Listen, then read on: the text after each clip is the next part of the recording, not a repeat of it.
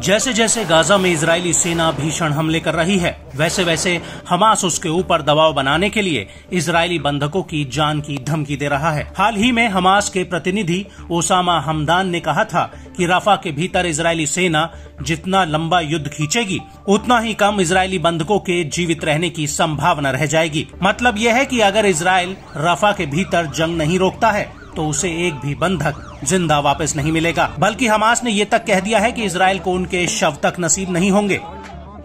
और अब इसी कड़ी में इजरायली सेना पर मानसिक रूप से दबाव बनाने के लिए हमास ने एक वीडियो जारी किया है। ये वीडियो 28 साल के अलेक्जेंडर ट्रुफानोव का है, जो कि एक इजरायली ऑफिसर हैं। अलेक्जेंडर को 7 अक्टूबर 2023 के हमले वाले दिन अगवा किया गया था।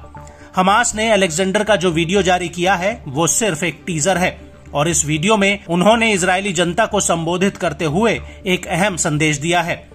अलेक्जेंडर कह रहे हैं कि आप मुझसे मेरे और गाजा में दर्जनों कैदियों के साथ जो हुआ, उसके बारे में सच्चाई सुनेंगे।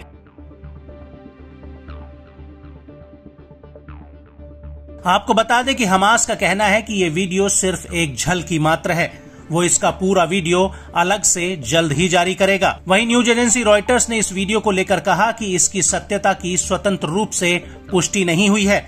ये भी नहीं पता चला है कि ये वीडियो किस जगह और कब फिल्माया गया है। रॉयटर्स का कहना है कि ये वीडियो फिल्टर्स के साथ एडिट किया गया है और वीडियो का ऑडियो अलेक्जेंडर के चेहरे के बोल से मैच नहीं करता है।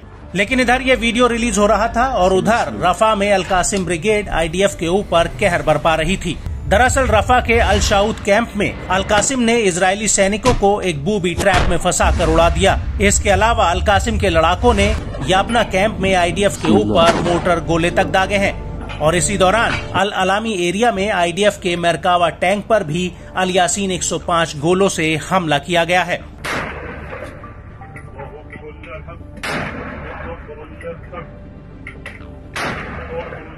हमास ने इस हमले का एक वीडियो भी जारी किया है, जिसमें हमास का एक लड़ाका घर के भीतर छिपकर सामने से जा रहे इजरायली टैंक पर रॉकेट लॉन्चर से हमला कर देता है, जिसमें जोरदार धमाका होता है। और इसके बाद हमास का एक लड़ाका पेड़ों के बीच छिपकर दनादन रॉकेटों की बरसात कर देता है।